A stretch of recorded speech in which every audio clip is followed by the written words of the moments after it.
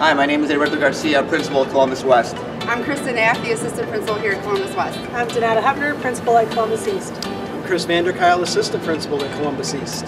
The Columbuses are united just to wish all of our families a happy and safe summer.